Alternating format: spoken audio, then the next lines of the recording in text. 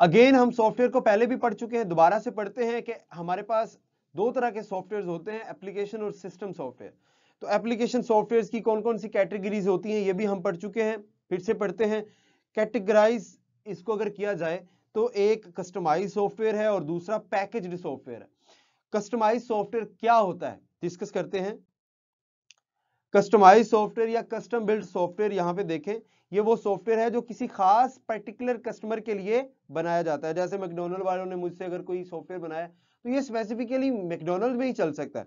इसी तरीके से गूगल डेवलपर्स ने कोई सॉफ्टवेयर अपने लिए बनाया तो वो उनके अपने लिए सॉफ्टवेयर है। इसी तरीके से अगर हम बात करें, कोई किसी अदारे ने बनाया है इंस्टीट्यूशन ने बनाया है तो वो उनका अपना सॉफ्टवेयर दूसरी तरफ़ हमारे पास पैकेज सॉफ्टवेयर होते हैं, जो पूरी दुनिया के लिए होते हैं, किसी खास पर्टिकुलर कस्टमर के लिए नहीं।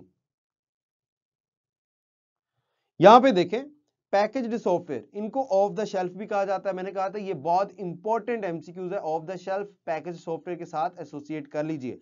जैसे कि यहाँ पे देखें पावर पॉइंट है या माइक्रोसॉफ्ट वर्ड है तो ये कौन से सॉफ्टवेयर हैं? पैकेज सॉफ्टवेयर अब हम बात करते हैं ऑपरेटिंग सिस्टम की। जैसे कि मैंने कहा कि ऑपरेटिंग सिस्टम मैंने पीछे बताया।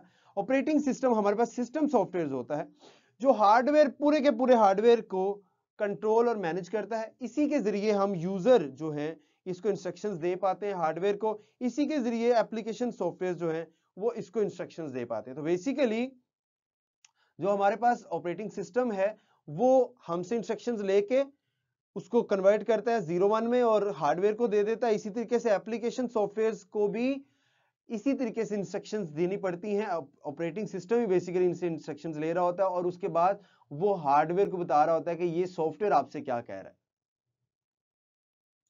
अब हम बात करते हैं फ़ंक्शंस ऑफ़ ऑपरेटिंग सिस्टम के बारे में। फ़ंक्शंस ऑफ़ ऑपरेटिंग सिस्टम देखें।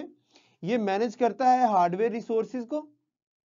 हार्डवेयर रिसोर्सेज हमारे पास उसमें जितने भी हार्डवेयर रिसोर्सिस रिसोर्सेज चाहे वो सीपीयू हो, चाहे वो मेमोरी हो, चाहे वो ये सारे हार्डवेयर ही हैं तो इन सबको मैनेज करता है। मेमोरी मैनेजमेंट भी ये करता है। आपके पास CPU at the same time RAM के अंदर डाटा स्टोर कर रहा होता है और उससे वापस भी ले रहा होता है।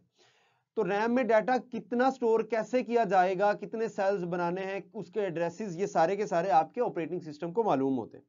फिर लोड एग्जीक्यूट प्रोग्राम प्रोग्राम को लोड भी करता है एग्जीक्यूट भी करता है। लोड का मतलब रैम के अंदर स्टोर करना और एग्जीक्यूट का मतलब सीपीयू के अंदर स्टोर करना है।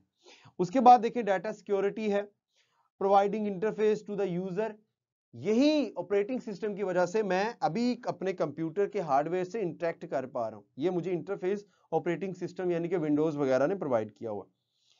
कमांड प्रॉम्प्ट या ग्राफिकल यूज़र इंटरफेस क्राम कमांड प्रॉम्प्ट पुराने वक्तों में हम लाइन या ऐड करके या कमांड्स दे के करते थे लेकिन आज के दौर में ग्राफिकल यूज़र इंटरफेस है मेरे पास बड़े खूबसूरत से बटन हैं।